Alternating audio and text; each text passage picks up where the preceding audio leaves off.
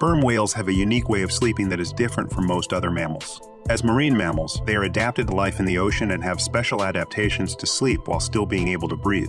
To sleep, sperm whales enter a state known as logging. During logging, a whale remains relatively motionless at the water's surface or just below it, with its head and part of its back exposed. The whale appears to be in a horizontal position, floating or barely moving. Sperm whales are conscious breathers, which means they have to actively decide when to breathe rather than it happening automatically. This behavior is necessary because they need to come to the water's surface to take a breath of air. While logging, only one side of the whale's brain is in a deep sleep state, while the other side remains awake and vigilant.